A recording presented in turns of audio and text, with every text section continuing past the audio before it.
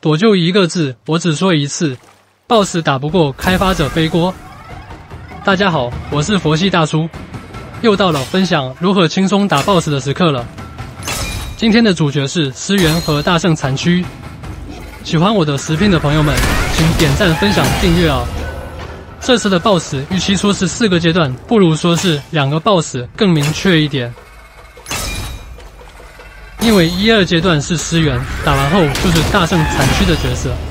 如果没有打败大圣残区，也不会从一阶段重新开始，而是从三阶段开始的。我在一二阶段用的是禁止法，加上四段重棍，伤害很高。石原的技能还是得躲一下的。二阶段他会变分身打你，你可以在他要变分身时用重棍打断。定风珠或者幽魂精魄应该也可以，您可以试一试。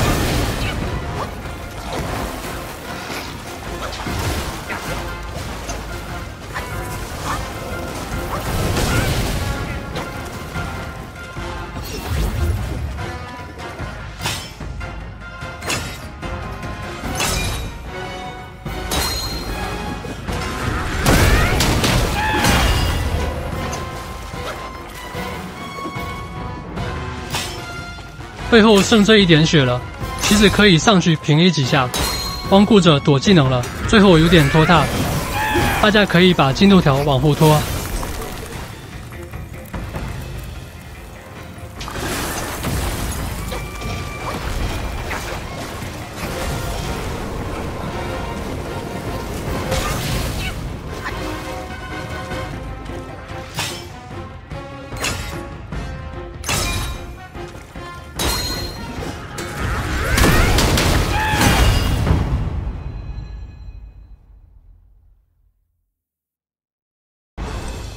这里是进入下一个阶段的 CG 动画，大家可以欣赏一下。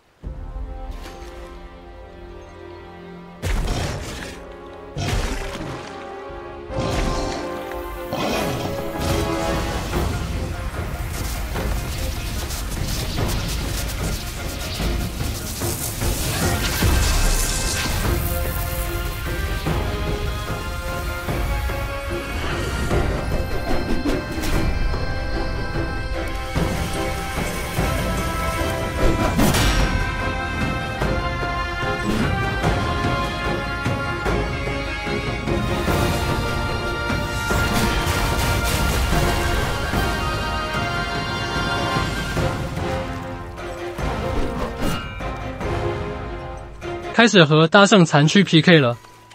第一阶段也是很简单，就是四段重棍过去的。不过这里的法术、变身、精魄、法宝等都带上了，好像冥冥中大圣就是想看到你用完所有技能，他才认可你一样。我带的是定身术、隐身术、分身术、变身师马哥，精魄是幽魂，法宝芭蕉扇，仙丹是九转还魂丹，以防万一。重点来了，我以上说的这些，在一阶段不要不要用，全部留到二阶段。一阶段就是拉远距离，蓄力四段重棍就可以过关。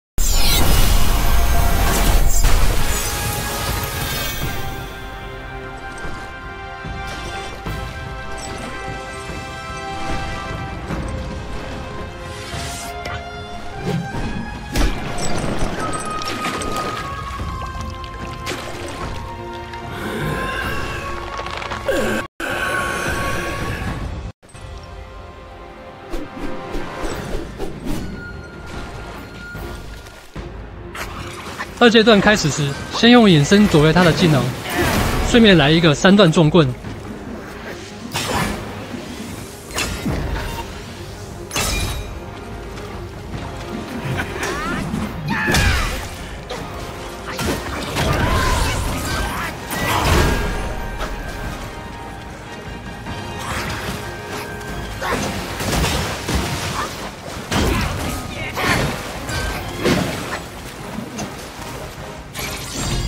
芭蕉扇上场，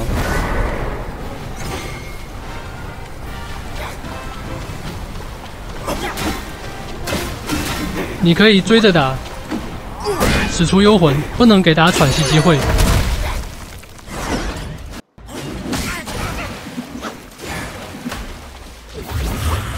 还是要注意躲技能。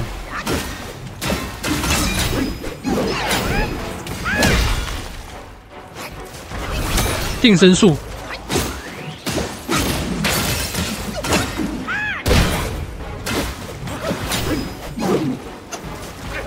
变身马克，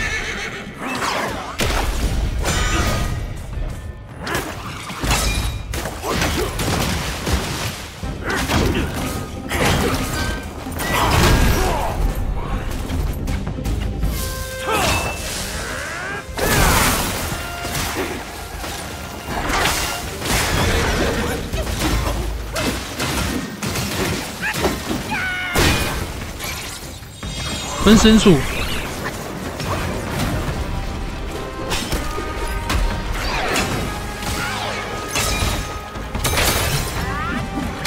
这里大家注意了，大圣先用软隐身，然后松下一个假身，最后他的真身突然下来，给你一个重击。